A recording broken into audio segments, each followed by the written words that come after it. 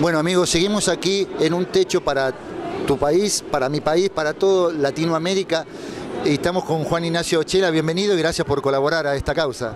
No, la verdad que muchas gracias a, ustedes ¿no? por la invitación y estoy muy contento de, estar acá y de, desde mi lado poder ayudar.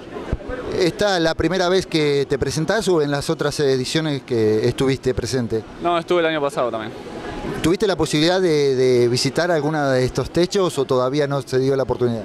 No, no, la verdad que todavía no, pero bueno, vi el video del año pasado y bueno, hice todo lo que hacen y la verdad que, que es algo muy bueno y muy importante. ¿Qué tipo de género musical escucha Juan Ignacio? A mí me gusta más que nada el rock argentino. ¿Por ejemplo?